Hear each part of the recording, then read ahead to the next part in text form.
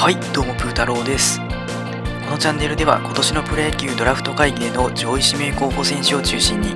プレーを詳細に分析した辛口解説動画を上げていきますのでよろしくお願いします。今年もまずは大学生の候補の解説動画から出しているところになります。ということで今回は強豪で1年生からレギュラーとしてホームランを量産してきたパワフルな打撃が魅力の強打者青山学院大学の佐々木大選手の解説になります。それでは早速解説していくんですが大きく4つのパートに分けて説明していきたいと思っています。まずはプロフィールの紹介。その次に打撃内容と守備走塁の分析。最後に評価の発表という流れでいきたいと思います。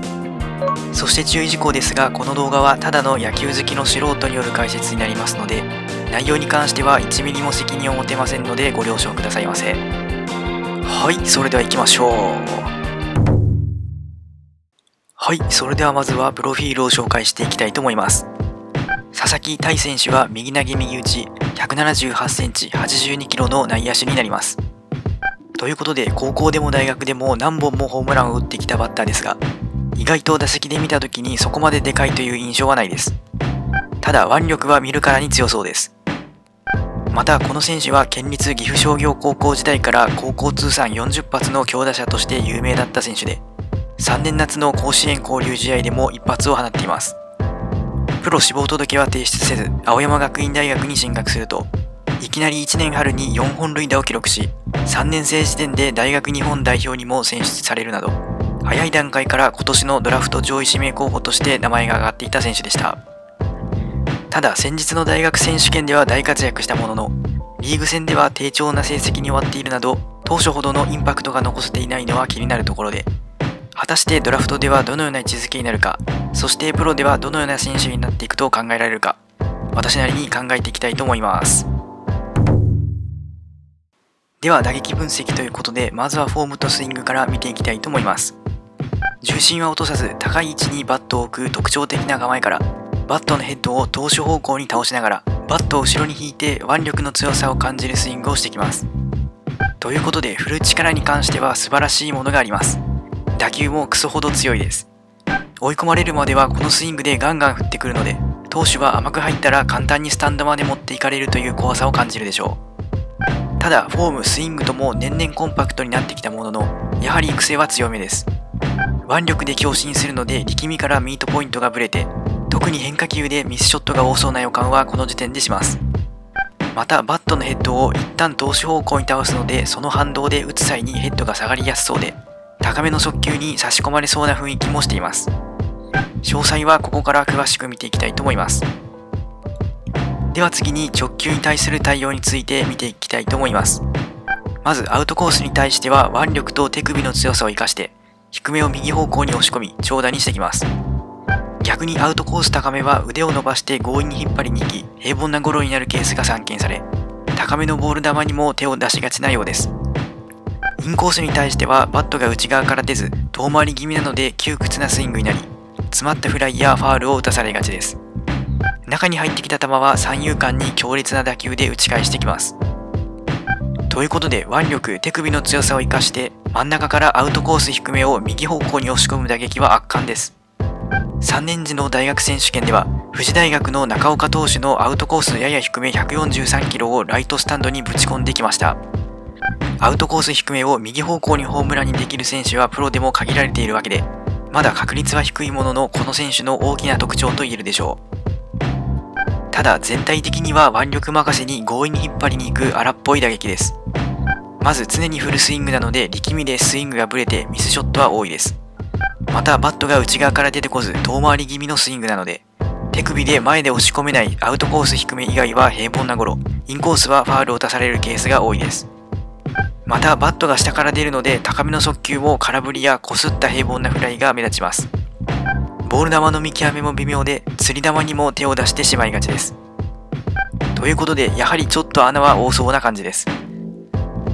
では次に変化球に対する対応ですが、まず曲がる系に対しては腕を伸ばして強引に引っ張りに行き、引っ掛けた平凡なゴロになりがちなようです。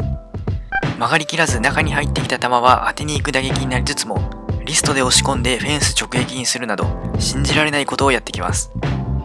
食い込んでくる球は基本窮屈なスイングになりファールや平凡なゴロや空振りになりがちです。落ちる系に対してはバットを縦に使えず捉えきれないケースが多いです。選球眼も微妙です。ということで直球同様追い込まれるまではかなり積極的に強振してきます。真ん中低めが得意で4年春のリーグ戦や先日の大学選手権でも左腕の入ってきた低めのスライダーを下から叩いてホームランにするという衝撃の打撃をしてきました。ただいくらなんでも積極的すぎる気はします。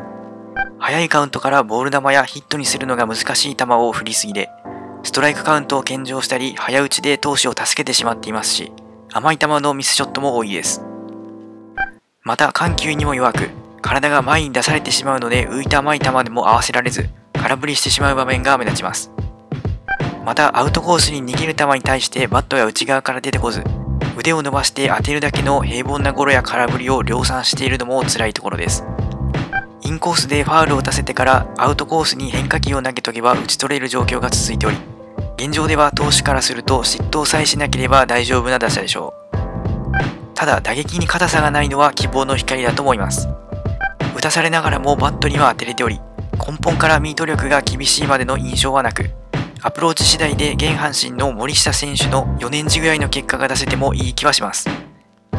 それでは打撃のまとめになります。長打力は大学トップクラスですし、アウトコース低めを右方向に長打にできるというスペシャルな能力もあるものの、打撃の完成度は高いとは言えないでしょう。打撃の癖が強く、やはり打てない球が多い印象です。また積極的なこと自体は悪いことではないですが、ミスショットが多く甘い球を仕留めきれていないですし、ボール球にも手を出しすぎで逆に投手を助けてしまっています。1年春からレギュラーとなり結果を出した選手ですが、その後は緊急対策されて苦戦しており、未だにそこを乗り越えられていないというのが現状でしょう。ということで現状の打撃をプロでそのままやると、ホームランは多少打てそうですが率が厳しいでしょう。プロでも20発以上打てる可能性を持った貴重な存在であることに変わりはないので、この辺りを総合的にどう考えるかということになってくるでしょう。ということで普通に考えればプロでは即戦力とはいかず、まずは打撃の完成度を高めるための時間が必要になると考えます。根本的にスイングを変えるというのは難しいと考えるので、アプローチ面で進化していきたいところでしょう。例えば狙い球を絞って全ての球を打ちに行かないようにするとか、追い込まれてからはもう少し右方向を意識するとかでしょうか。プロの中軸クラスと遜色ない長打力がある内野手という貴重な存在だけに、プロ入り後の指導で修正できると判断できるかどうかが評価付けの上で焦点になってきそうです。はい、これで打撃分析は以上になりますので、続いて守備走塁を見ていきたいと思います。はい、それでは次に守備走塁を見ていきたいと思います。まず守備ですが、守備位置はサードになります。補給守備範囲は平均以上、肩も平均以上、送球も平均以上だと思いました。瞬発力や俊敏性があり二遊間もできるのではと思うほど動きは軽快です。またボテボテの頃には果敢に突っ込んでいくタイプで補給ミスも出そうですが実際には安定しています。走力に関しては脚力はあるのでプロでも2桁盗塁ぐらいは期待できるかもしれないです。ということでプロでも何の問題もなくサードが務まるでしょう。安定感や安心感では国学院大学の柳田選手の方がやや上な気はしますが、守備範囲ではこちらが一枚上の印象です。ということで即戦力としては厳しいですが、プロでもレギュラーとして期待できるだけの打撃のポテンシャルはあり、かつしっかりサードが守れる選手という位置づけになりそうです。はい、これで分析は以上になりますので、最終評価の方に行きましょう。はい、それでは最終評価になります。この選手は強豪で1年生からレギュラーとしてホームランを量産してきた。パワフルな打撃や魅力の強打者になります。腕力と手首の強さを生かした打撃で右方向への飛距離には特筆すべきものがありプロでも20発以上打てて三塁守備も安定した。不動のレギュラーとして活躍できる可能性を秘めた打者だと考えます。ただ打撃に癖があり完成度も高いとは言えずプロで即戦力となるかは微妙なところでまずはファームで打撃の修正が必要になると思われます。ということで即戦力化は微妙ですが将来的に中軸に座るサードになれる可能性を秘めたポテンシャルの高いバッターを補強したい球団が指名してくるでしょう。となると具体的には西武、日ハム、楽天、ソフトバンク、広島、巨人、中日あたりになってくるでしょうか。では最終評価の発表の前にプータロー式評価システムについて説明しておきたいと思います。最大5つの星の数で選手のドラフトにおける評価を表現します。星の種類は2種類あって黒塗りの星は現在の実力を表しています。白抜きの星は将来的な伸びしろを表していて今はまだそれだけの力はないんですが将来的に黒星になる可能性があることを表しています。はいそれでは最終評価になりますが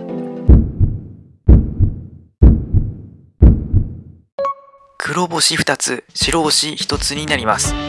ドラフト3位から4位指名級と評価いたします。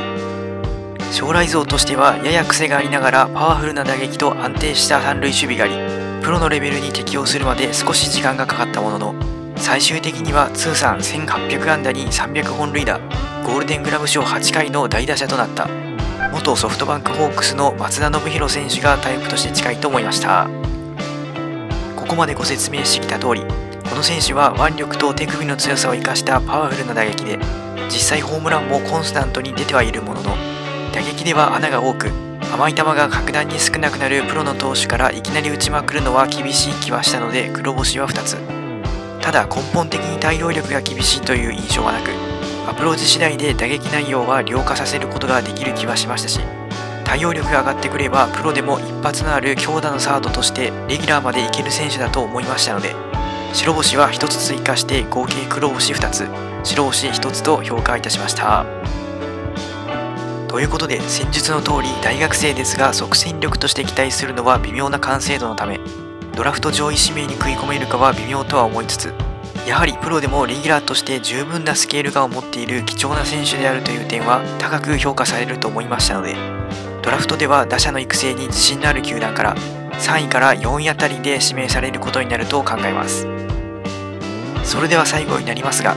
もし私がプロ球団のスカウトなら3位以降で指名できそうな強打の選手としては個人的にはこの選手を推薦したいですし指導者としても育てがいがある素材だと思いましたのでなんとか打撃の課題を改善していきプロでも成功をつかんでほしいと願っております。はいそれでは最後までご視聴いただきありがとうございましたこの動画がためになったという方は評価コメントチャンネル登録の方よろしくお願いします私が次の動画を作る気力がちょっと増すはずです。では次の動画で会いましょう。プータロでした。